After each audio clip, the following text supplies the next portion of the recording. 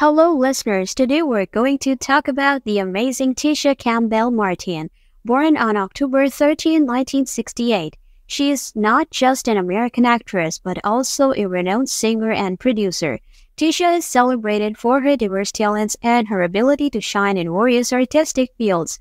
Tisha is not just an accomplished actress, she's also a gifted singer who has released several singles and albums.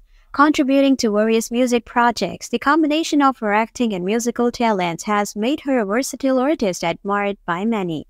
Now brace yourselves for some news. Tisha Campbell, known for her creativity and acting prowess, is facing a heartbreaking challenge. She is battling lung cancer. This news has not only shaken the entertainment industry but also touched the hearts of those who love and respect her.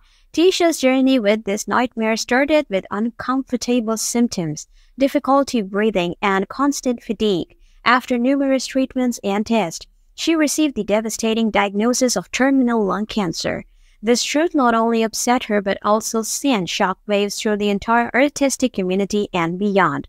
Tisha Campbell Martin has been a driving force in the entertainment industry, known for her incredible acting career, from Gina Waters in Martin to Jay Kyle in My Wife and Kids she has left an indelible mark.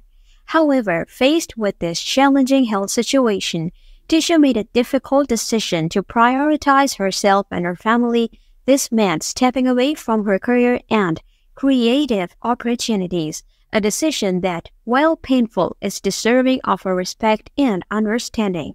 As a community, let's come together and send Tisha our love, thoughts, and prayers. If you have any well wishes, feel free to share them in the comments below. Don't forget to subscribe to our channel and hit the bell icon for the latest updates. Thank you for watching and let's send positive vibes Tisha's way. Wishing her strength and swift recovery until next time.